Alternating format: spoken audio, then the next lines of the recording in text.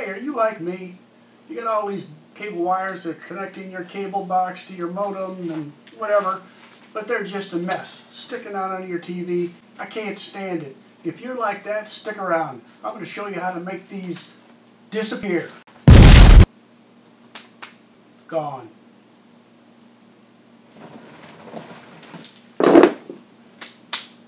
Gone.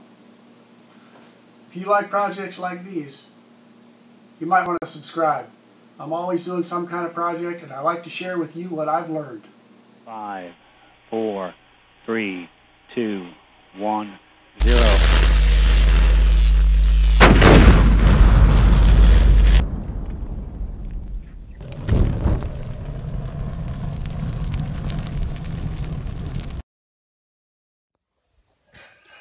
So we have a little wiring mess here in my daughter's new home. Couple of issues. This was supposed to be pre-wired for cable by the builder. It didn't get done. For some reason, they put a phone jack in behind where the TV was supposed to go. So subsequent to that, we had to have the cable company come in and they ran the cable in, but ran it in down here instead of up higher would have would have made more sense to be able to hide the wires behind the TV. So now we got this mess here. So my challenge today is to try to find a way to hide all these wires, but do it in the simplest way possible. I'll show you what we've got here behind the television. Here's the bracket that holds the television up, and you can see that they did pre-wire an outlet here to put a television up. So I can get a lot of the plugs in. So I think what I'm going to do is put up some cleats and a shelf right here to hold the majority of the television equipment and go from there. So I have a piece of 1 by 8 here that was used for a different project.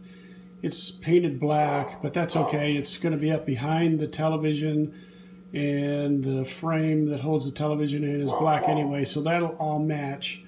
Um, as I say, it's a 1 by 8 so it's about 7 and a quarter inches across this way. I cut it larger. I didn't want it to fit exactly in the corner, so I cut it a little bit larger so it'll stick out from the corner here. I'll be able to run my wires that I need to up and down behind the shelf. Now next what I'll do is take a second piece I'll line up the edges here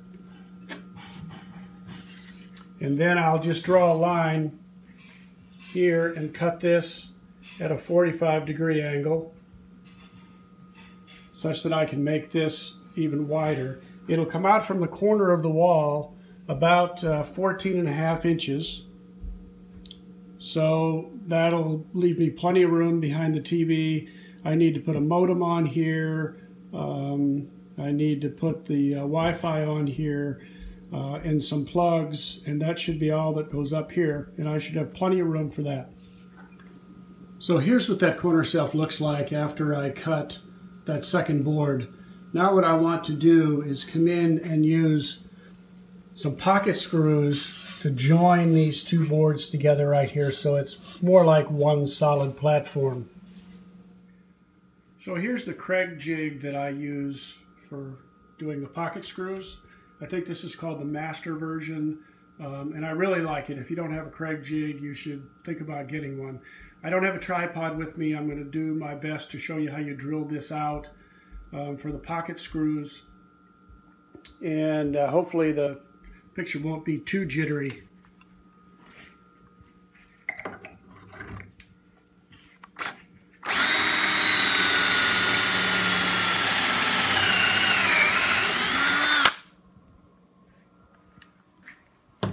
So what you've done there is you've drilled down through the, that board and then it drills a hole that allows the pocket screw to sit in behind the board and that drills out um, just a little bit more to get it through. So that's where the head of the screw will sit right there and then it'll push its way into the second board here and you won't see it at all.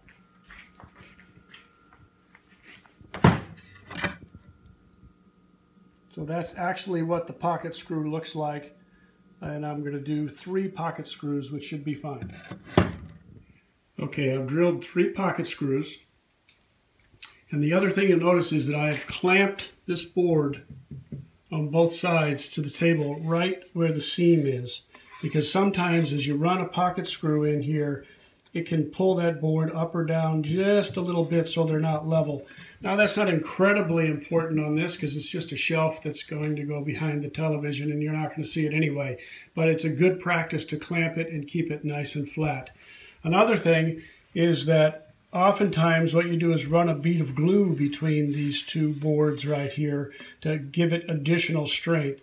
Um, I have found that on a project like this, I really don't need the glue.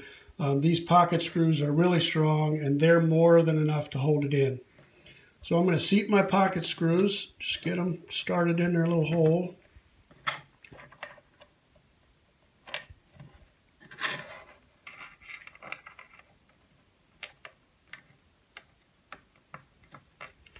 And then you take your driver here. I just use a small 12 volt driver. This is the driver. This is not the impact driver, just a regular driver.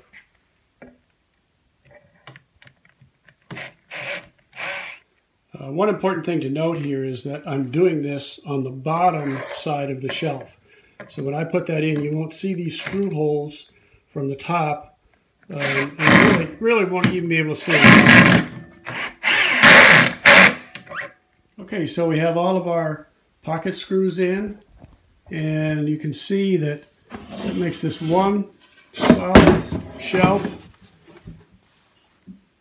And it's plenty stiff. That's not going to go anywhere. It'll be easier to work with that. So here's what our little corner shelf would look like when it's mounted in there. So what I'm going to do now is just to make a couple of cleats to run along the underside to hold it up. I cut two one by two boards. These will be the cleats that go on the wall that the shelf will sit on. This is sitting upside down now. When I put it up, it'll probably make more sense. And then I cut the ends of those cleats at a 45 degree angle so it would match the angle of the shelves. So here are my two simple cleats that I mounted. I just found a stud. I used two and a half inch screws to hold them in. Thinking that I've got a half inch of drywall to go through, three quarters of an inch of wood to go through. So that's an inch and a quarter. So that'll leave me an inch and a quarter of screw to go into the stud. And those things are anchored just fine. They're very tight. So here's the shelf actually sitting on the cleats. Now we're going to start moving this jumble of crap up there and try to start simplifying this. All right, we are making significant progress. A lot of the stuff that was down below is now hidden up behind the television. What we have left here is the cable box and you can't hide that because it has to have a line of sight to the remote in order to be able to change channels and switch it off and on and control volume and so forth. And the phone, you can't hide that up in behind because you may need to use it. It's really just a backup. Most everything that they use in this house is cell phone, but nonetheless, you don't want it hidden in case you need it. So what we'll have to do next is design another shelf that will be in behind uh, or right underneath the television. And but just low enough to where you can see the items that we need to see the phone and the remote but high enough that we're still hiding all of the wires. And it'll have to be probably white. I think we'll do something white which will match the trim, or we may do it the same color as the walls. So that's our next step. I'm going to think about that a little bit and then I'll come back. Well, here's how it finally came out. I made a second shelf